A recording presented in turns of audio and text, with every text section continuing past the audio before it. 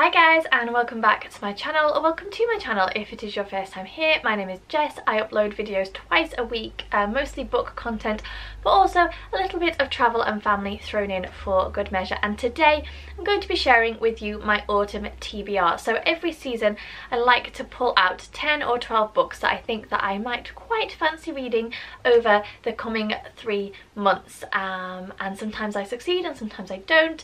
Uh, and autumn for me is a season of being cozy, all those warm, vibrant colours, the weather changing. Um, it's historical fiction, it's fantasy, it's being transported to another world with a few thrillers and spine-tingling books thrown in for good measure. So I've pulled my books out.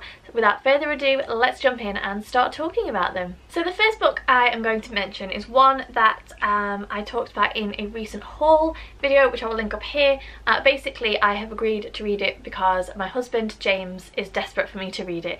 It's the first one in a high fantasy series. Um, he has listened to them on audiobook and has not stopped going on about them, and I said, right, right, I will give the first one a go, and that is Malice by John Gwynne. So other than my husband's recommendation, I don't know too much about what this is other than that it is epic adult high fantasy. Um, we're following the story of a young boy called Corban who wants to become a warrior. So he has watched enviously it says on the back as boys become warriors uh, and he yearns to join them determined that he will make his family proud we're set in a place called the banished lands which has an extremely violent past with armies of men clashing with magical creatures such as giants.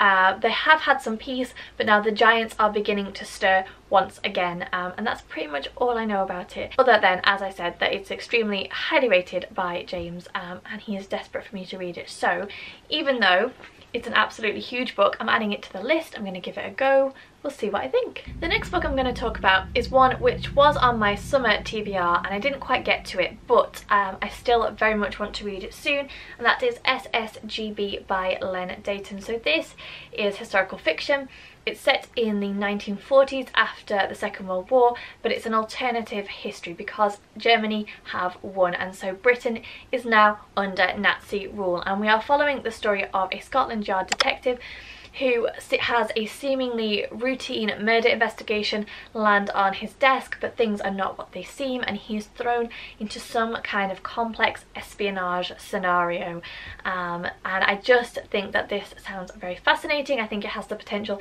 to be quite dark um, but very very interesting and one that I'm just very much looking forward to picking up. Then I am adding on Pretty Girls by Karin Slaughter. This is a crime thriller. I read A Good Daughter or The Good Daughter by Karin Slaughter last year and thought that it was great um, so I thought that I would add this one on. So this is the story of Claire who lost her sister Julia 20 years ago. Her sister went missing. And then in the present day another girl goes missing. And Claire is convinced that somehow the two cases are linked. And so she begins to do her own investigation. But she begins to uncover things about her sister that she just never expected. And it paints a picture of her sister that is perhaps a little bit far removed from who Claire thought she was. Um, can't wait to read it, think it sounds great. Haven't seen too many people talk about it, hoping it's not going to be too gruesome because I have to say, although I said, oh yeah, autumn is a time for thrillers, I'm also a little bit of a wuss.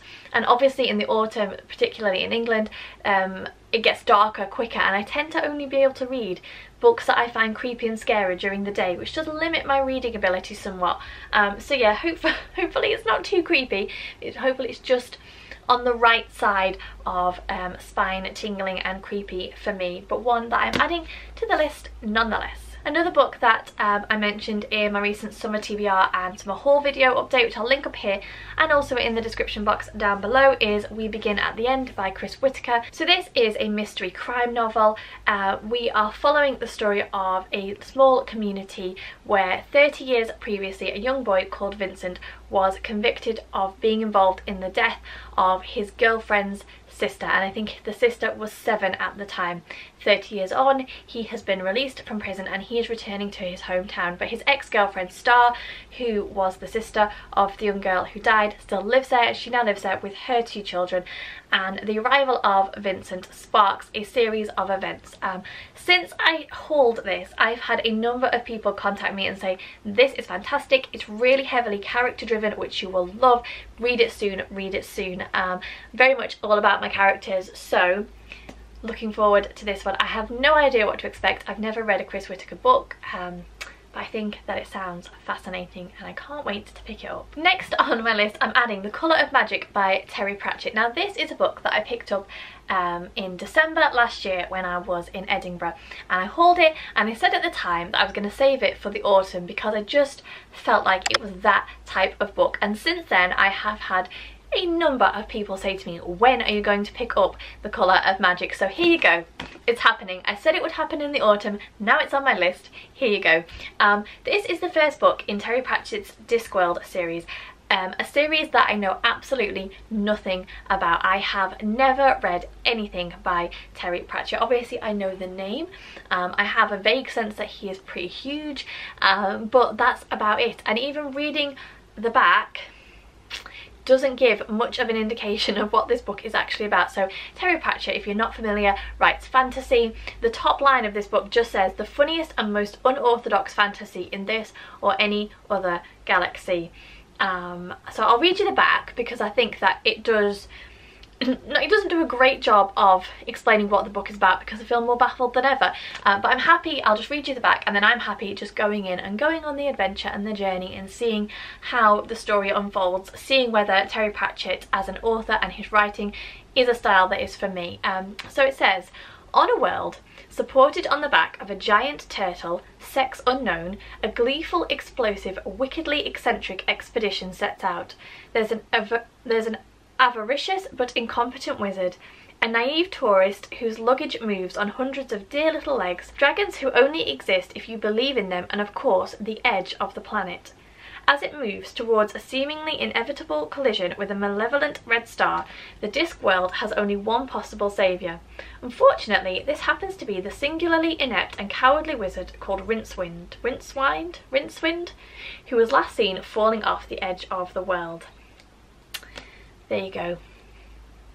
I have no idea what it's going to be like. I have no idea if it's going to be for me. Um, it comes highly recommended. I know it's much beloved. Um, so yeah, fingers crossed. Next up we have The Lies of Locke Lamora by Scott Lynch. This is the first book in the Gentleman Bastard sequence. Um, it's the story of Locke Lamora who is a notorious thief in the ancient city of Camorr and Locke is an orphan. He has avoided death, he has avoided slavery and he has grown up under the tutelage of a con artist and he is now part of a band of thieves known as the Gentlemen Bastards. They steal from the rich and they keep the money for themselves. Um, it says on the back, um, a clandestine war is threatening to tear the ancient city of Camorr apart. Caught up in a murderous game, Locke and his friends are suddenly struggling just to stay alive. So I think that this is going to be one of those delicious um, books with morally grey characters where Locke is perhaps not doing the right thing but is going to be called upon to stand up and do the right thing. Um, it sounds like it's going to be fast paced and fun and interesting and different. Um, it's been blurbed on the front by George R. R. Martin, need I say more? Um, yeah, I'm just very much looking forward to picking this one up. Next up is Fingersmith by Sarah Waters. This is the story of two orphans. It's historical fiction. It's set in the 1860s and we're following the story predominantly of an orphan known as Sue who has grown up in a family of petty thieves but somehow her fate, her future is linked to that of another orphan growing up in a mansion not too far away from where Sue is. Um, don't know much more about it than that. I mentioned this, I think it was in the All My Unread Books video that I did a while ago um, and someone commented and said you will love this book and since then I've kind of been umming and ahhing about picking it up but due to the season, due to the type of books that I like to read during the autumn, this one sounds really great. I've never read anything by Sarah Waters, though I know she is a much celebrated and much beloved author in the book community, um, so very much want to give this one a go. Although even as I'm holding it, I'm very aware that a lot of the books that I have picked up are actually quite significant in size, so we'll see how I go on Uh, but yeah, just another one that I'm adding to the list and this one definitely ticks the box for uh, dark historical fiction which I think will be perfect. And what was I saying about giant books? But here is Tombland by CJ Sansom. So this is historical fiction. Uh, this is the latest book in CJ Sansom's Shardlake series, a series that I have read and loved and have a hair stuck to it, read and loved for a long, long time. Each book honestly gets bigger and bigger. So Shardlake is a solicitor. The books begin during the reign of Henry VIII and Shardlake is kind of pulled in to the insidious court life uh, quite unexpectedly of Henry VIII and he is under service to the king sent off to investigate various crimes and inevitably to keep them hush hush. There are all kinds of hijinks and japes that go on uh, when he's there. It's never what you expect. There are a band of fun and interesting characters whose story arcs we get to follow. Um, so this particular book is set two years after the death of Henry VIII and England is sliding into some level of chaos. And so we're just picking up Matthew Shardlake's story from there. I don't really want to say too much because I think that you should read the books as they were written but honestly if you are interested in historical fiction with a mystery crime element that are rich and descriptive and well written and just a little bit of fun as well uh, they do have some laugh out loud smiling moments then I would highly recommend the Shardlake series and I think there are five or six books now in the series so a great one to binge read. Um, unfortunately though this one sits at over 800 pages so thanks a lot CJ Sansom. Very much looking forward to reading it but it is a huge huge endeavour um, but yeah I'm adding this to the list. And then you may know um, that I run a book club called Just One More Page um, and so obviously each month I will have a book from there. I don't know what they are for October and November although for October I'm floating the idea of a thriller because I don't actually have that many thrillers on this list and I would like to add a couple more in but for September the book is The Secret of Strangers by Charity Norman. It's contemporary fiction and it's about a group of strangers whose lives are turned upside down when a gunman traps them in a cafe where they're just going to get their morning coffee. Um, but it says, there is more to the situation than first meets the eye, and as the captives grapple with their own inner demons, the line between right and wrong begins to blur. Will the secrets they keep stop them from escaping with their lives? A tense, multi-dimensional drama from the writer of After the Fall. I read After the Fall a number of years ago and thought that it was okay I didn't love it but I thought it was okay uh, but I think that the premise of this one sounds fascinating. Uh, very much looking forward to reading it um, and yeah I will let you know in due course what I think. And then the last book that I'm going to talk about today, um, probably no surprise, it has been on and off TBRs. I have been talking on and off about rereading this series for a very long time and I just thought Jessica get it together now is the time to do it um, and that is Assassin's Apprentice by Robin Hobb. So if you are new here, let me give you a little bit of a backstory and I'll try and keep it concise. I first read this series by Robin Hobb when I was pregnant with my daughter, so that would be circa 12 years ago, uh, and I absolutely adored it. Robin Hobb was the reason that I discovered that I was more into character-driven stories than plot-driven. She was my first real entry into high fantasy books, um, and there's just so so much to love. Now this is part of a wider series of books in the realm of the elderling that robin hobb has written. But in particular there are a number of trilogies which feature the same characters predominantly fitz um, and another character called the Fool. And that particular series which stretches as I said across a number of trilogies has only just recently been concluded. And I have not read the final two books in the final trilogy with these characters in uh, mostly because um, I just think that I'm going to be absolutely gutted to think that their story has finally concluded. Um, but as part of that I kind of thought wouldn't it be good to go back to the beginning and reread them all and have the story fresh in my mind for when I reach the conclusion of um, Fitz and the Fool's story. Um, but I've been putting it off so I kind of flip back and forth between do I want to do it do I not want to do it? It's a huge undertaking. Um, you can see some of the books here and here. There's one actually missing and then I have some more here. Um, so there are quite a lot of books but I just think that it is time. I think that this is the right season to do it in. I maybe will only pick up one every other month. I'm not going to try and commit too much. This particular book is short, but as you can see, they get they get bigger and bigger as you go on.